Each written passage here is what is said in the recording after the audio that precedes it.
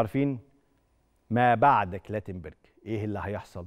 مش عارفين طبعا مش عارفين. طيب اتحاد الكره دخل في مفاوضات مع خبير تحكيم برتغالي لخلافة كلاتنبرج في رئاسة لجنة الحكام بعدما تقدم الأخير باستقالته مؤخرا. مصدر باتحاد الكره قال لنا إن الخبير البرتغالي تم ترشيحه من جانب روي فيتوريا المدير الفني لمنتخب مصر. وما زالت المفاوضات جارية حتى الآن بينما يتواجد في الصورة أيضا خبير آخر أسباني تحسبا لتعثر المفاوضات مع البرتغالي.